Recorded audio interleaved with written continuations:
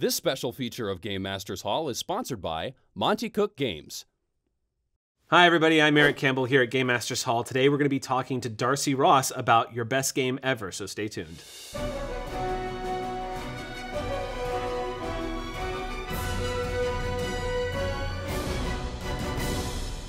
Hi, Darcy. Welcome back to the show. It's good to see you. Yeah, it's good to be here. Um, so you're here to talk to us today about your best game ever, and I have been really wanting to get everybody on board to find out what this is. So Mm-hmm. tell us a little bit about what the book is. yeah, I'm really excited for it. It is um, a book about tools and advice and resources for both uh, players and GMs of uh, tabletop role-playing games of all sorts.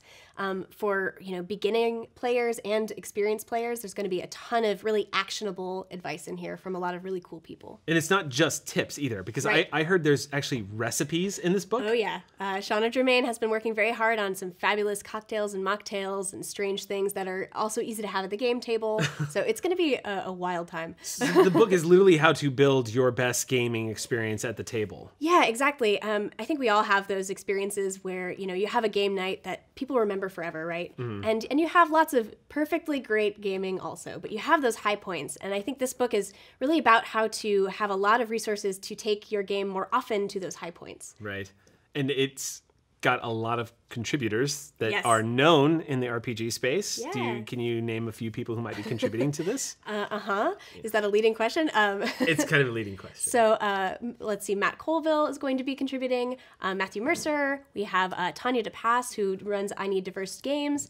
Uh, goodness, we have a whole litany of great um, thinkers and writers and designers um, who are consulting experts on this. Mm-hmm. And also some uh, folks who make comics are going to be drawing comics in it. Oh, Uh, rad. Yeah, we have um, the, goodness, the uh, Dork Tower. Uh, Nice. Yeah, we're to Yeah, have yeah, in it. And Dian Doggos. Uh, very, very good uh, contributors. I'm so excited about Matt Colville writing for this book. I really like every time that dude opens his mouth. Yeah. I'm like I feel like I gain a level. I'm just like every time he has any kind of advice to disperse, it's like, it, and, and I've had conversations with Mercer too, where we're just like, dude, we just want to hear Colville talk. Yeah. that's so exciting. And so the the array of of contributions that are made by the writers and whatnot, everyone is basically going to be talking about because a, a, as a contributor myself, we're Mm-hmm. basically just going to be talking about what we bring to the table and what we personally feel like helps create your best game. So you're getting an array of opinions and thoughts Yes. about this. right because it's such a you know it's a it's an ambitious topic right Mm-hmm. uh, how do you how do you serve all kinds of games all kind of, of gamers and the only way to do it is to bring in a lot of different minds and uh, and so i think anybody who's going to pick this up is going to find something really that they resonate with right because they might fall under the uh, eric campbell camp or they might fall on you know they Mm-hmm. might find something that resonates with someone else so I, i'm really excited to bring that all in one big book Yeah, I'm really excited to hear what people's thoughts are because it, it's not a divided camp. Anything. It's not like it's not like PC versus Right. console. But I do hear a lot of people talk about theater of the mind versus Right. like miniatures. Um, um, I've had a lot of conversations with that with fellow GMs. Um, no one, no one. I, I don't know anybody who particularly has a preference, but everyone does seem to have like thoughts on why one is better than the other Yes. at certain circumstances. Exactly. Yeah. So it's really it's gonna be really interesting to find out what everyone thinks about that. But I also one of the things that I like about this, it, the, the, the thing- that really captured me was that there was going to be recipes in the book. And that's what kind of opened the door to me realizing that the whole book is about how to set up a game night and Yeah. generate the best possible gaming experience for your group. So you would would you say that this is a pretty good book for a beginner to pick up? Absolutely. Uh, you know, it. I love that it's not going to assume knowledge about a lot of different things because gaming is kind of a weird social experiment. Uh, it's there's a lot of social engineering that goes on, right? We're we're friends. We're engaging in this collaborative storytelling together. Uh, we're negotiating at the table, right? There's a lot going into it that um, doesn't that exists beyond just the rule set. And so I think this book is going to, you know, if you're nervous about running your first game, I think this is going to be oh such a such a godsend.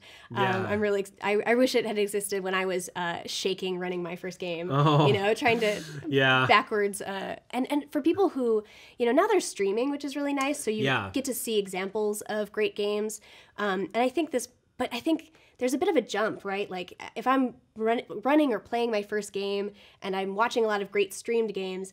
How do I get there? Is like a it, it's Yeah. a scary chasm that has many many steps to, to get there, right? That it's a solvable problem. Yeah, that's another. So one of the reasons why I was really excited about this book Mm-hmm. when when Monte gave me heads up that he wanted to do this book was um, being a GM on Geek and Sundry, Right. and and having conversations with other GMs like Colville and Mercer and Ivan, like we we have all had conversations about how sometimes watching these games be streamed on Twitch, um, they they they encourage people to come out and role play, but we've also seen a flip side to that where people get a little intimidated because they think that they need to run a game the way we're running games. Right.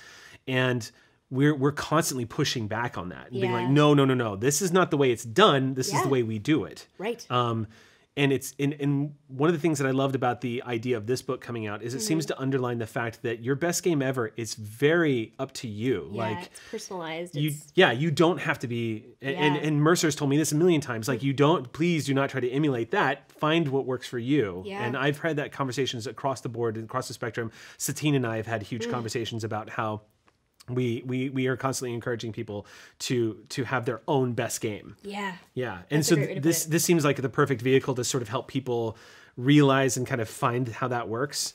Yeah, and one thing I like about it too is that it acknowledges that it's not just you know we think about these uh, star GMs, right? These excellent GMs uh, who a lot of people look up to, but there's so much about uh, role playing game craft that that is that is on the player's end too, and getting to bring that out and flourish it uh, as as a as a fellow player. How do you how can you be the best like co-player with each other? Is kind of a, a neat topic that's in there, um, and one that I think about a lot. Uh, and you know we all have room for improvement. We all have stuff we we could Definitely. it's part of the the joy of role playing games too though right is there's uh, such a diversity of experiences to have um, there's different tools to help you have those different experiences Mm-hmm. um, so i think it's it acknowledges the diversity and the plurality of great Right. gaming we can have I see Reddit posts and I see Twitter conversations all Mm. the time on things like, "Hey, there was a lot of tension at our table tonight. Right. Like someone someone didn't like ruling the Yes. GM made, or maybe the maybe the maybe the GM actually got a ruling wrong and Right. stuck to their guns, and like there was some upset and stuff like that. So it."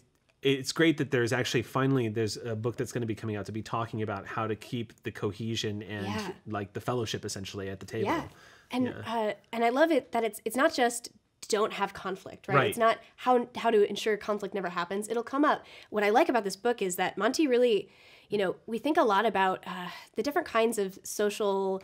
Um, personas that people have, the different kinds of social anxieties that we all have. Yeah. Uh, so there's there's one thing to say. Well, you know, uh, be a good player, don't have conflict. Be a good be a good and welcoming GM. Okay, but how do I do that? So one of the things that's in here is is like almost uh, ideas for how you would bring up some of these tender topics, right? Like, here's a sentence that you could do that should make your player not feel defensive or have your GM not feel defensive. There's just the the level of actionability here. I think is really going to help people make those jumps to those uh, harder steps of gaming. So they can usually find you at montecookgames.com, but for this one, they can find at yourbestgameever.com. Is that right? Exactly. Yeah, that's where we'll be uh, showing you where you can get all these cool uh, different formats of the book, and uh, and can sort of, you know, we when we uh, kickstarted the book itself, we also released a, a, a we uh, dreamed up a revised Cypher System rule book to sort of go along with this. So we've got lots of good Cypher System stuff tied into the ethos of your best game ever, and some of the tools that are in that book. I'm so super excited about that. And I'm just going to add this